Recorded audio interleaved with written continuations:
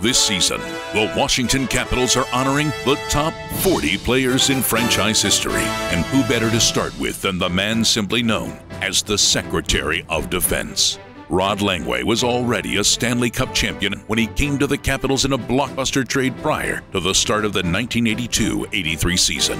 Langway was dealt to Washington from the Montreal Canadiens along with teammates Brian Engblom, Doug Jarvis, and Craig Laughlin.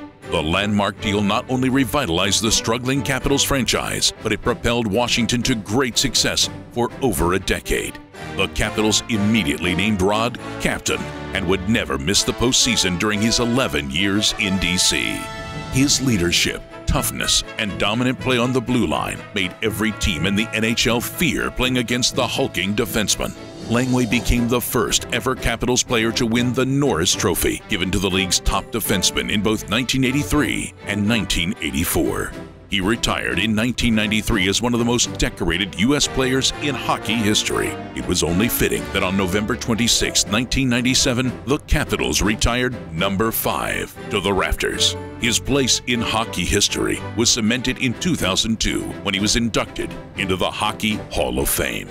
He is the definition of a hockey legend, Rod Langway.